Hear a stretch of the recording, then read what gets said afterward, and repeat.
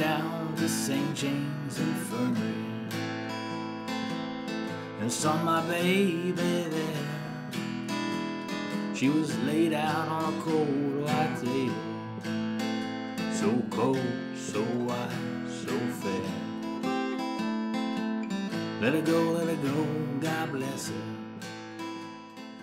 Hey friends, how's it going? This is David Pots with Song Notes, and today's lesson will be for the song St. James Infirmary Blues. So this one's coming in by request to Gil. Gil, thanks for your support on Patreon. Uh, you mentioned this song, and this is actually one that I've been meaning to do for a while, so you requested the right song at the right time. I'm going to do a lesson for it now. So um, heads up, this will be for uh, St. James Infirmary Blues, obviously, like I said, a classic, classic blues song. Now, I'm going to be making this very like easy, accessible, uh, version of the song. Okay, there's a lot of nuance and a lot of like expert fills and licks and all kinds of stuff I could get into that I'm not going to. I'm going to start this one off really easy because I probably will do future lessons on this song, and uh, I just want to make that clear. So I'm going to be doing this in A minor. Okay, lots of times you see it in D minor, but I think A will be a bit more beginner friendly. Okay, so we're going to do A minor, and also with the progression, there's going to be certain chords that I'm going to sort of steer towards the easier, more obvious thing, right? Like I'm not going to use a D minor at all. I'm not going to use a C at all. I'm going to keep the turnaround nice and simple. I'm just going to stay on A minor. So all you nitpickers out there will notice that stuff. But again, I'm just keeping this nice and simple, and you can build with this as you learn it, right? So um, let's get to this lesson. Here's the timestamps, obviously, and the, the PDF of what I'm showing you. You can find on playsongnotes.com, right? The notes and tabs. It's a great way to follow along outside this uh, video. But let's get to the lesson first, right? Now you saw the playthrough there. We're going to start off by looking at the chords. There's only a few, and that makes this really nice. So uh, we're going to have an A minor chord, okay? So that's basically the thinnest five strings, right? Open, fifth string, second fret, second fret, and then first fret on the second string, and open, uh, high E string, okay? The next chord will be an E major. Now E major is great because you're coming from A minor, right? And when you go from A minor to E major, you're keeping your three fingers in the same exact relative formation, right? Like fighter jets flying overhead, they are in a tight, like flying V of finger position, and all you're doing is moving them towards your face one string, right? So it's E is open sixth string, fifth, um, open sixth string, second fret, second fret, first fret, open, open, okay? So A minor to E, back to A minor. You want to get comfortable doing that. Just take it slow, you know, um, if you're new to this and just find a tempo that works where you can switch smoothly and then practice it, you know, day after day, and then you'll slowly get the speed, right? So the next chord we'll look at is an E7. Okay, this is based on the E major chord. All we're doing, the way I like to play it, is adding your pinky the third fret of the second string, right? That's gonna be your E7. Now, the thing about this chord I'll say is number one, you don't need it. You can just use the E wherever you see the E7 and it'll sound fine. And the other thing is, lots of times this pinky is the last note that I get into place on this chord, okay? And the, the note I want to say is when you're switching to this chord and you're trying to play through the song, just go to an E, think of it as an E major with this note added. If you mess up this note, you know, you don't push it down hard enough, the E is still going to sound good. So make sure you're not sacrificing the E even if this note is giving you some trouble, okay? Because you don't want that to stumble you up. But basically, uh, those are the first three chords. And the last chord is an F. Now, F, I'm not going to show you the full bar chord F. I mean, if, if you know that, that's great, right? First, sec, uh, first, third, third, second, first, first. But instead of doing this, what we're going to be doing is simplifying it by only playing the middle four strings here, okay? So this is how I like to play the F at least, right? The other way I'll show you is like this. Just the second, third, and fourth string okay? Um, but this way is basically, there's no barring involved, and it's you're just using your four fingers, right? Uh, so starting on the fifth string, it's third fret, third fret, second fret, first fret, okay? And the thing about this chord, if you don't know it yet, is it's very similar to a C major, okay? Now, there's no C major in this song, but check this out anyway. If I go from a C major and I keep my index and ring where they are, all I'm gonna do is move my middle finger to one thinner string, one th th string thinner, and move my pinky down next to my ring finger, okay? Check out how similar the F, this, this F is versus this C.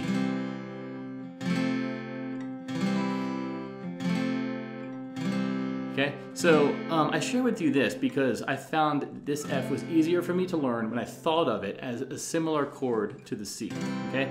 And then once you have that shape, you can start using it in other songs. So we have the A minor, we have the E, the E7, and then this F. Okay? And again, if you want to keep it even simpler, you could just do uh, fourth, third, and second string. Okay, with your ring finger, middle finger, and index finger. Okay? Third fret, second fret, first fret on the fourth, third, and second string. And only play those strings if you can, right? And that's the key with these Fs is you don't want to play, if you're playing the simplified versions, you don't want to really, um, you don't want to play the, the, the thickest or thinnest string unless you're muting them. Here I'm muting them. So even if I do play them, they don't make a sound, right? Because these fingers, the thumb right here is lightly touching it, and my sort of index finger here is lightly touching it. So when that's happening, the string is deadened, okay? So these, those are the chords you're gonna need. Now make sure you get comfortable with those chords. If, if it's, um, you know, you're taking the song slowly, the first day, try to get those chords under your belt. Even if the switches are slow, you just wanna learn them and then practice, you know, the, the switching speed will, will come with practice and you'll be good to go. But now let's look at this song itself. So the chord progression of this song. Um, so it's going to look like this. We basically have four lines, all right? So we're going to, uh, each line has two measures of four counts, right? So in this first line, for example, from left to right, I'm just going to be on A minor for two counts. One, two, to E, two, and then to A minor, and stay on it for two more counts, right? So it's one, two, three, four, one, two, three, four.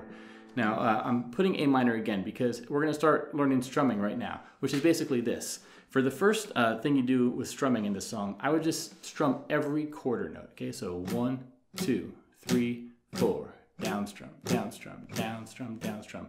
So let's go in the first line here. Uh, a minor to E to A minor. So four strums of A minor, then you go to A minor to F to E, and then E7, and third line, same as the first line, right? And this is the fourth line. F, to E, to A minor, 2, 3, 4. Okay? Now you could do that and you could start singing and you would sound just fine, right? I mean, real quick. I went down to the St. James Infirmary, two, three, four. I saw my baby there. If you could do the E7, do it. She was laid out on a cold white table. So cold, so white, so fair.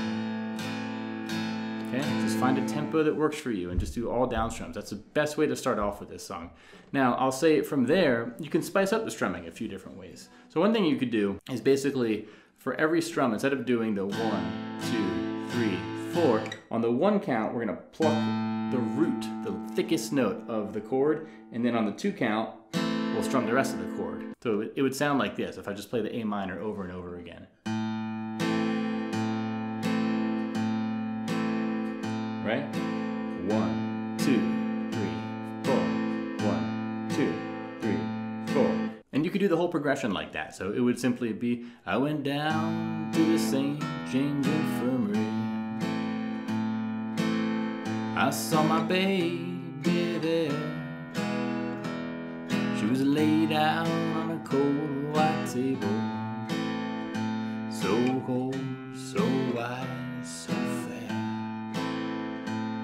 Starting to come together now, right? And the next thing I would recommend doing with the strumming is to basically start bringing in some up strums, right? Because your hand's already moving. And if you can do this, it adds a lot of uh, cool sound to it. So basically, we're to try to do this. So down, down, up, down, down, up, down, down, up, up, up, down, down, up, down, down, up, down, down, up, up, up, down, down, up, right? So down, down, up, down, down,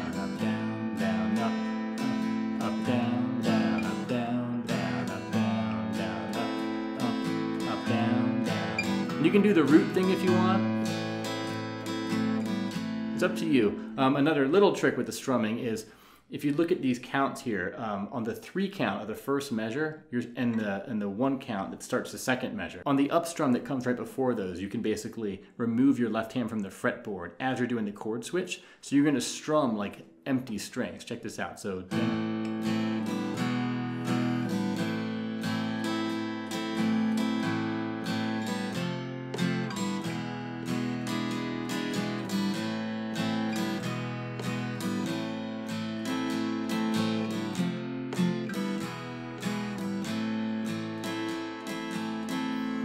That's a nice little way to make the song feel more organic and raw. And then the final trip I'll say with the strumming is you could start to, um, on your up strums, maybe just strum one or two strings. And here's what I mean by that.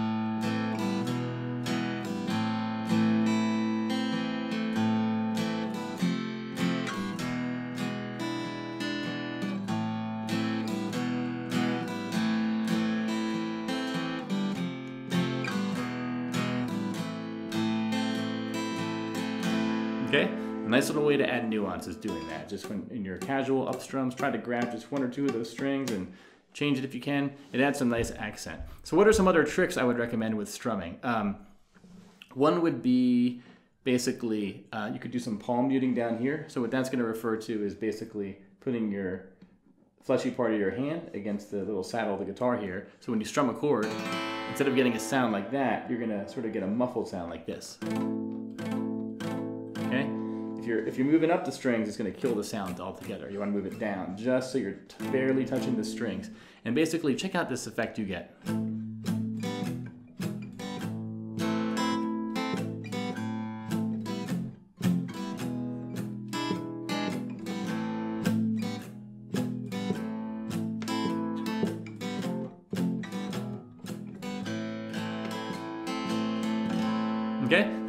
Effect you can do. Another one is to bring in a raked strum, right? So that's going to be where we're basically gonna we're gonna do that. We're instead of doing a single fast motion, we're gonna do a sort of a slow. I kind of I kind of instead of doing a straight line across the strings, like perpendicular to the strings, I kind of make a curved shape because what that does is I can move my hand fast still, but it's creating a longer like travel distance or something. I'm not really good at geometry, right? But the pick can move the same speed, but you get that raked sound. It's almost like you're scooping a you know rocks or something, right? And you kind of get this in House of the Rising Sun, which is a very similar song to this. And what I mean by this is, uh, check this out. You could listen listen for the rake that I incorporate into the chord progression here, right? Let her go, let her go, God bless her, wherever she may be. She may search this wide world over, but she'll never find a sweet man like me. Okay, I was doing a bit of a an exaggerated one there, but you could use it to wherever, whatever place you want.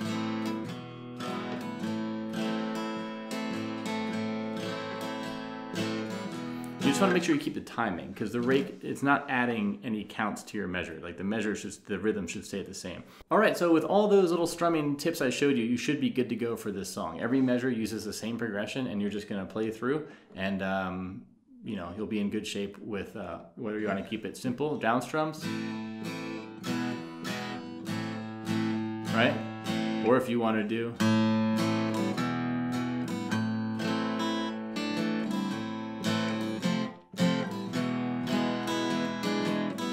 You know, something like that. It's totally up to you. But with that said, we're going to move in next into some of the lead fills you can do to incorporate these into the progression itself. Okay, so long story short, here's the progressions that I just showed you. What we're going to look at is in the final two, three, and four count of each of the four lines, we're going to do a little bit of um, just bluesy kind of fills while we keep our overall rhythm. Then we're going to return to strumming, right? So it's strum, strum, strum, strum, strum, strum, strum, strum, strum, strum. Da da da da da.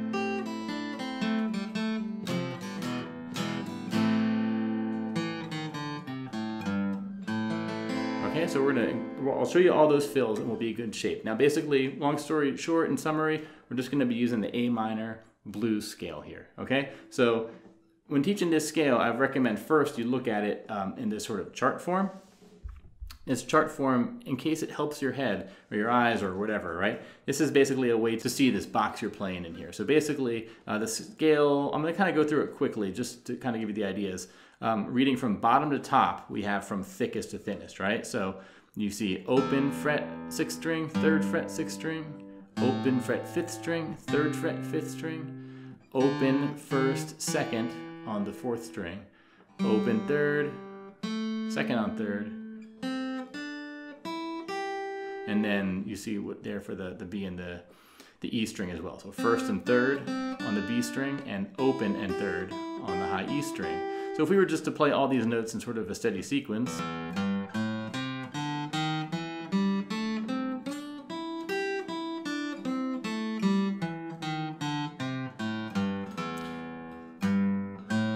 I'm not going to make this a lesson on this scale though. I just want to make I want to make sure that it's clear that these are all the notes I'm pulling from when I show you these fills. So I'm going to show you four different fills and all these fills are going to be coming from this scale. And it, they're basically going to be just freely playing, you know, with these notes in ways that sort of sounds good based on the, the chord we're coming from. When we do the fill, and we end up on a chord. So you do want to have a little bit of just um, sound awareness of does this sound good as I transition from this chord to this chord, right? So basically, let's look at this. Uh, let's look at the first of these exercises, which is going to be um, based on our A minor position with our left hand here. The idea, if you can, is on the sixth string and then to the fifth string, we're to go open to third on the sixth string, and then open to third on the fifth string, back to open fifth string, back to third sixth string, and we're to end up on the open fifth string. Okay, so we're only using these notes.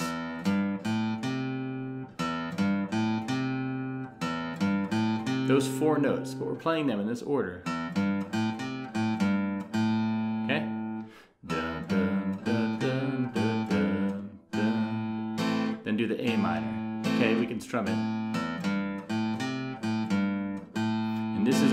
Practice it. Just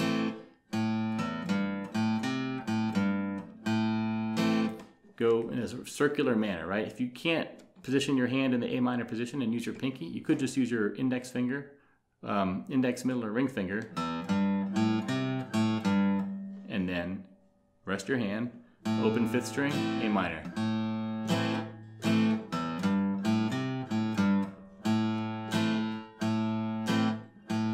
First little riff we're going to do there. Um, and we could, you know, use that in the first line, say, right? I went down to St. James Infirmary to see my baby there. And let's look at this second riff here. Um, the second one we're going to do is going to start on this fourth string. It's going to go from second to first to open, okay? Middle finger, index finger, open. And then This is very similar to that first riff, right? Third fret, fifth string, third fret to open, fifth string, sixth fret, um, sixth string, third fret, and then open fifth string again. So,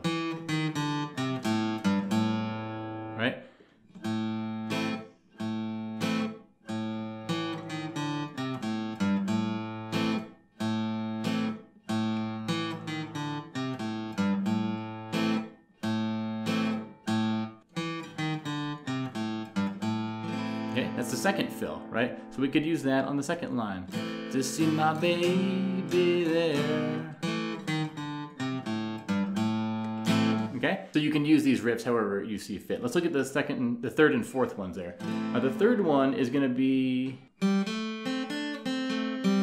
Okay, that's the third one, right? So uh, third and second string, open third string, and keep your hand in the A minor position. That's the key, right? All you're doing is lifting up your ring finger and going down to second fret on that.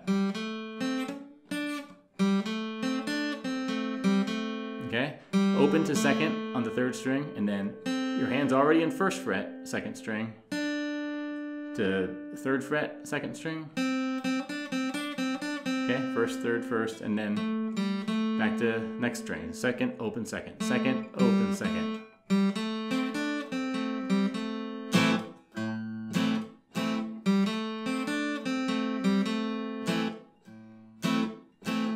Last riff will be this one. Um, so, right, uh, third to open on the highest string, third to first on the second string, and then second, open, second on the third string. So.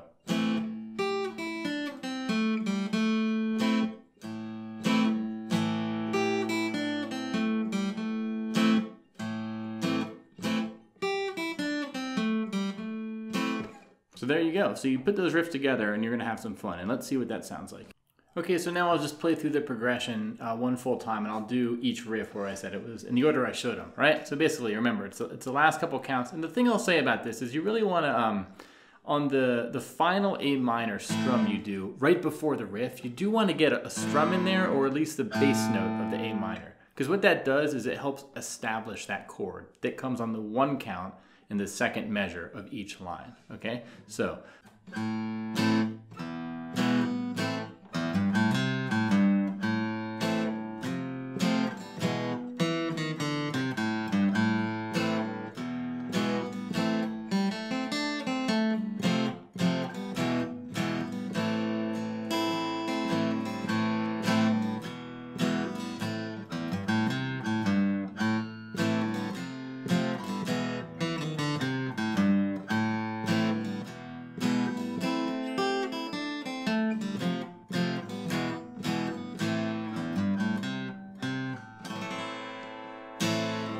So that's going to be it for this lesson. Thank you all very much for watching. I hope this was helpful for you as a nice introduction into this very cool, fun song. So I expect I'll do more lessons on this one in the future as I learn it better and play it in more advanced, fun ways. All kinds of bluesy nuance you can add. So I recommend you just look online, YouTube, Spotify, all kinds of cool versions, and you can learn a lot. So uh, this has been David Pots. Thanks for all of you for watching this far. Thanks to those of you who have supported me through kind comments, emails, through my tip jar my website, through my Patreon uh, page. It all helps support me, and uh, it's really much appreciated. But that's going to be it for this lesson. So have a great night. Take care.